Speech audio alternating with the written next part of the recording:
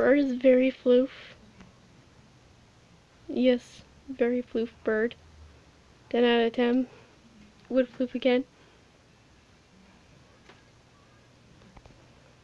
Floof.